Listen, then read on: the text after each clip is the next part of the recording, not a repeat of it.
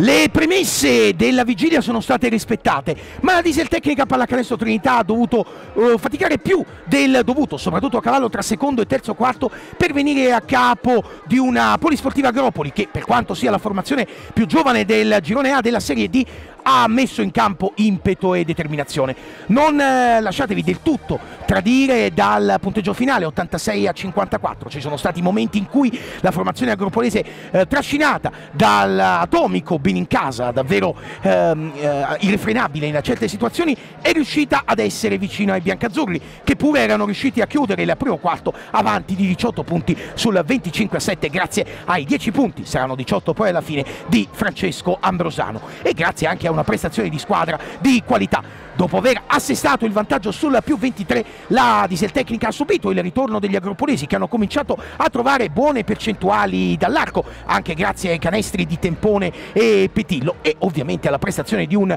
ehm, Benincasa che in certi momenti è stato eh, proprio ehm, protagonista sul parquet, anche con gli attacchi in transizione. Situazione che si è fatta ancora più delicata all'inizio del terzo quarto con un estemporaneo meno 11 firmato dalla formazione allenata da Pisani che poi ha subito un 11 a 0 di parziale che ha di fatto riportato la partita in chiaro favore della Diesel Tecnica che poi nel quarto periodo si è limitata a gestire il successo. Quarto successo consecutivo per i biancazzurri, ora chiamati alla trasferta di Afragola per riconfermarsi nel gruppo delle seconde del girone alle spalle delle Battistrada Basket Club Irpinia e Pallacanestro Santa Maria Vico. L'Agropoli ha fatto una partita veramente al massimo, i ragazzi, una squadra giovane, si sono impegnati e in effetti ci hanno messo anche in difficoltà in alcuni frangenti, però poi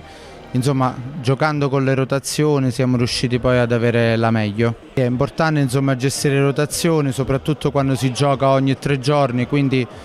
anche provare un po' i quintetti, mischiarli tra di loro, mettere in campo insomma, quei giochi che magari a volte non si riescono a provare nelle normali partite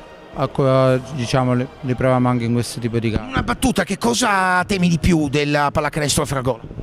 Ma come tutte le squadre napoletane sicuramente saranno toste difensivamente e fisicamente, quindi noi dobbiamo lavorare sulla difesa e sul tagliafuori al rimbalzo. Siamo partiti bene siamo andati subito avanti nel punteggio. Eh, sicuramente la squadra avversaria, composta da tanti ragazzi giovani, eh, cedeva il passo anche a noi che siamo un po' più esperti e un po' più forti fisicamente in questo caso. Però sono stati bravi anche loro a non mollare mai e a tenere una buona intensità. Quindi abbiamo avuto un piccolo calo nel secondo quarto, poi siamo, ci siamo subito ripresi, ma alla fine è stata una partita abbastanza diciamo, agevole sia nel punteggio che per quanto riguarda diciamo, l'andamento stesso. È stata una grande prova di squadra, una grande prova corale, sono ragazzi che si sbattono e si battono in difesa, non mollano mai, mettono sempre il cuore, l'orgoglio,